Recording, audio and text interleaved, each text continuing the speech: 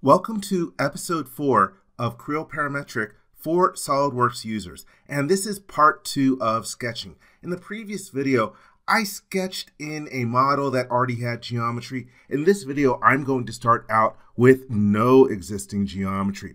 And like I mentioned in last video, the way I recommend that you get into sketch mode is by selecting the flat planar surface or datum plane that you want to sketch on, and then using the sketch tool, which is also the keyboard shortcut of the letter S. I'll click on it, and now I am in sketch mode. Again, sketch is a mode. It does become a tab when you go into the sketching environment, but when you are in regular part mode, you do not have a sketch tab. And if I want to look right at my sketch plane, I will click on the sketch view command and that reorients my model. I'm going to unclutter my screen by turning off the display of the datum planes.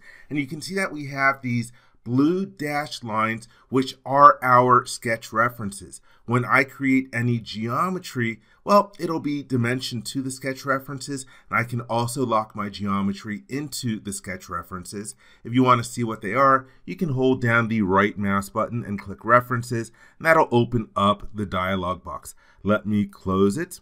And now for my geometry, ah, let's create a rectangle. I'm just to lock it into the intersection of my references. Let's drag it out about so big. And at this point, I could create other additional rectangles. If I hit the middle mouse button, well, it gets me out of rectangle creation mode. And you can see the geometry we've created. Let me left click on the background of the screen to deselect. You can see with this center rectangle, I automatically get what are called weak dimensions in here, which are just suggestions of a dimensioning scheme by Creo Parametric. It automatically provides you with the minimum geometry, or excuse me, the minimum dimensioning scheme that you need. Let me create some other geometry. You can also access the sketch tools from the right mouse button menu. I'm going to create some circles in here and let me create a circle locking in here and I'll make it about yay big. I'll create another circle. And one thing that you'll notice is that as I move it out, at one point it's going to snap to being the same radius or same diameter as the other circle that exists in the model. You can see that there is a little equal sign inside of a blue circle. That is called a constraint. And as you're sketching, Creo Parametric is suggesting these different constraints to you. In SOLIDWORKS, constraints are called relations. And in Creo Parametric, well, a relation is like an equation in SOLIDWORKS. So you'll find that there's just different terminology for different things. But for stuff I want to show later, I'm going to make this a different size than the original circle. Let's do that over here as well. Create another circle down there and create another circle over here. Again, just making them unique sizes. Let me hit the middle mouse button. You can see now we have even more weak dimensions on the computer screen. Uh, actually, I want to create a couple more circles for something that I want to show. Before I create those other circles, though, I'm going to create a center line. And I want to point out that there are actually two different center line commands in the ribbon. Here we have a regular sketching center line. This is a center line that would only exist in the sketch. If I go to the drop down list over here, there's another kind of center line, which is tangent to two entities. But another difference about center lines compared to SOLIDWORKS is that in Creo Parametric, center lines are infinite. Now there's another center line command, but it is in the datum group and using a center line from the datum group will actually create a datum feature in your model. You can also use these center lines as the axis of revolution. So let's click on the center line command. And I'm going to make a vertical one right on top of my sketch references.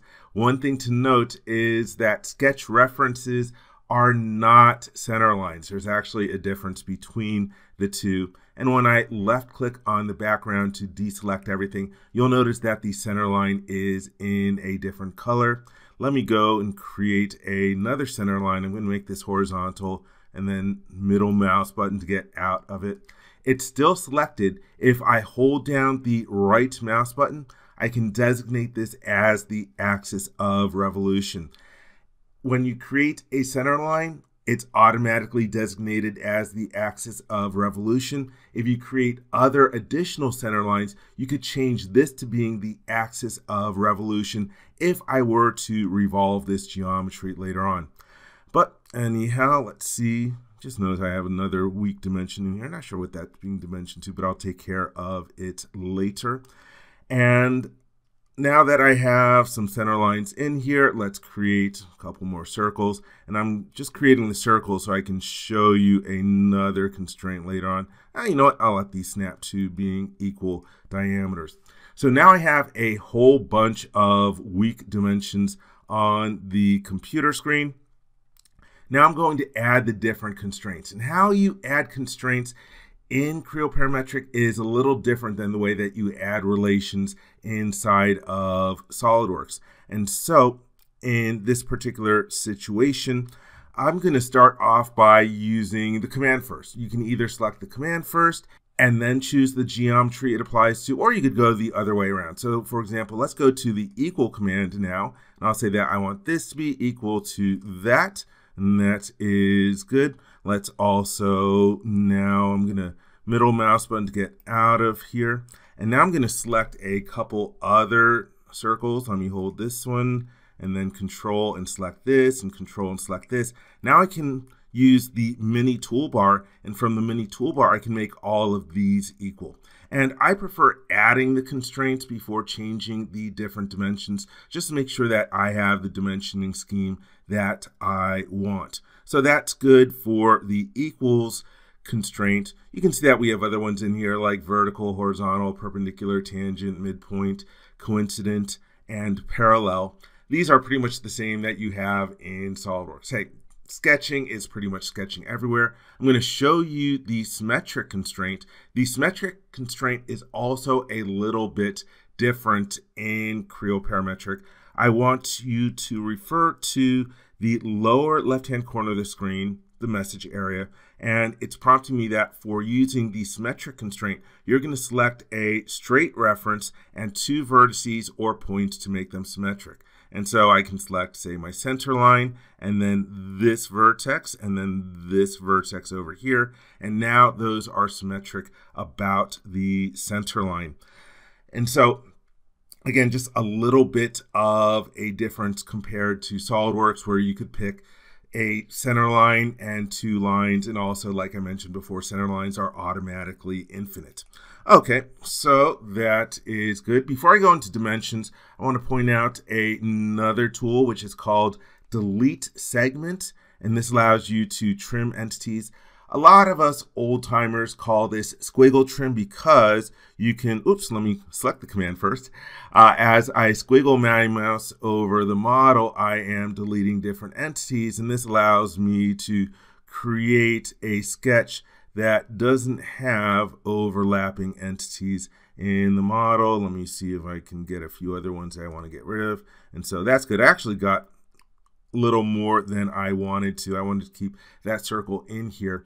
But one thing I want to point out is that you do not have to have a sketch that is limited to closed loops. Let me hit the undo button. I'm not going to eliminate the overlapping or the intersecting entities so I can show you how I can still use that for creating features like extrudes and revolves.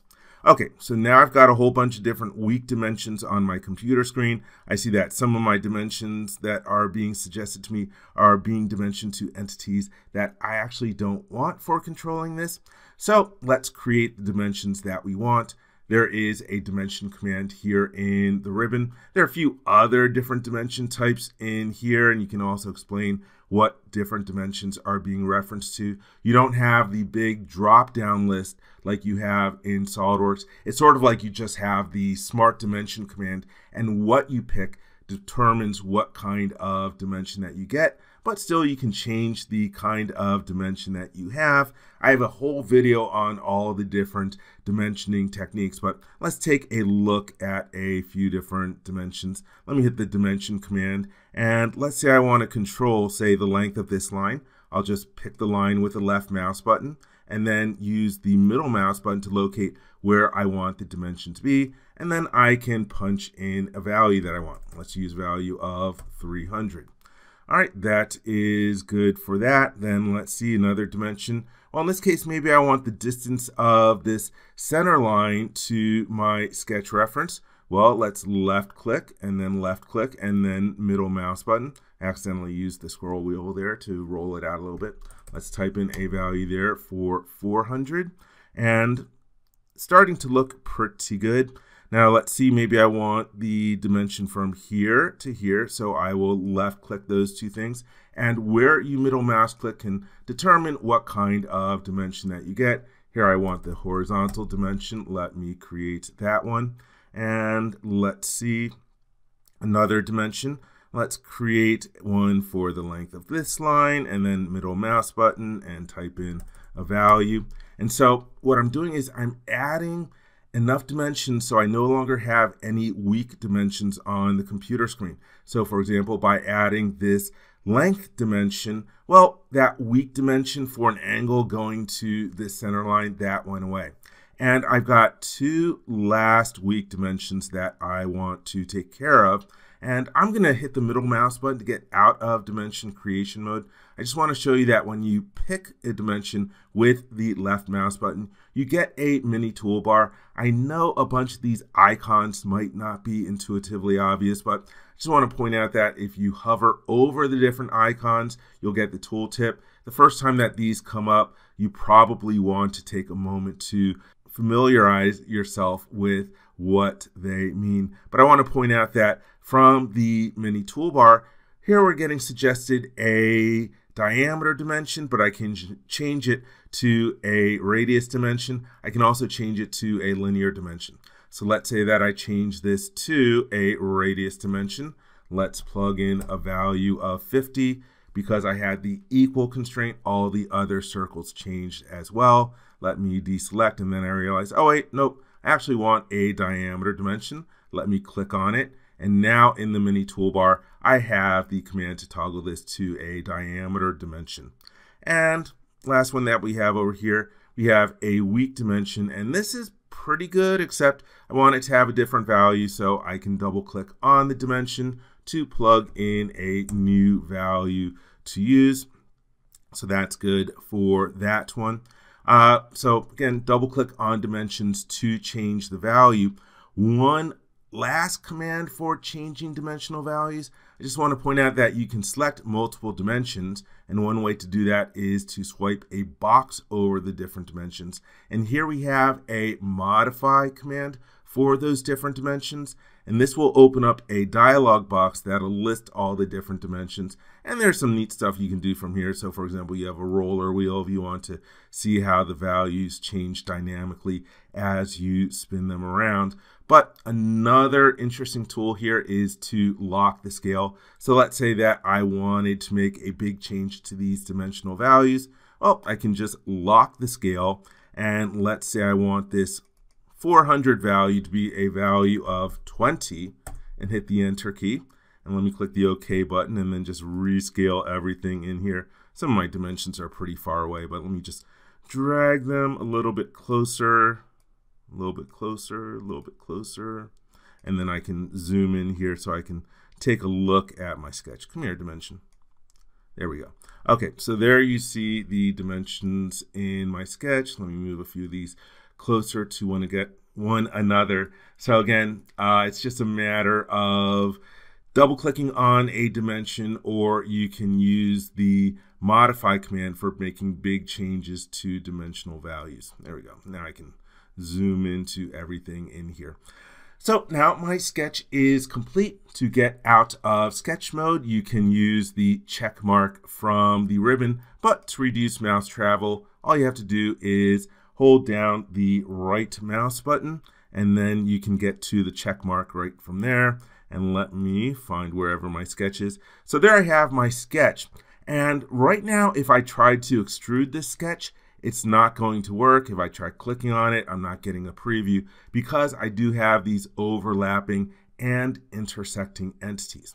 One thing that got added, oh, about four years ago, if you go to the selection filter in the lower right hand corner, you can change selection from geometry to sketch region. And so that allows me to select individual portions of my sketch. I'll hold down the control key to grab two of them. And here in the mini toolbar, I've got the extrude command. So this allows me to extrude just portions of a sketch that has multiple overlapping regions. I'm going to cancel out for a moment to show you that you can also just drag a box over all the different sketch regions.